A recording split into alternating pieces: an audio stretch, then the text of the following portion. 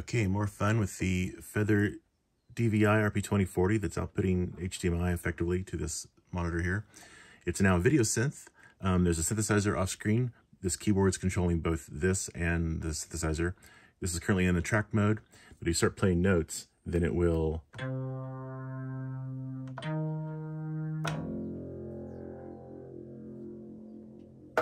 And if you play multiple notes, and with the mod wheel, you can control sort of the complexity of the, the pattern.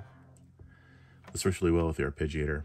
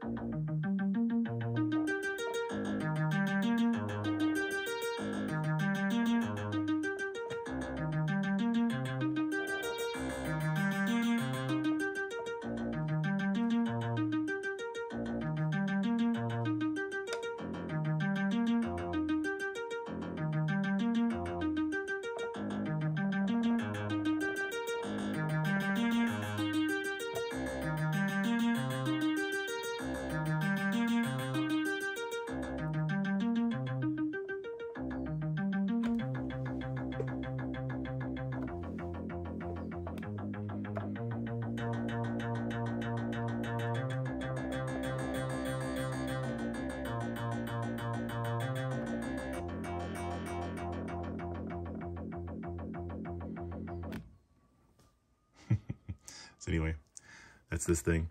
It's on the GitHub.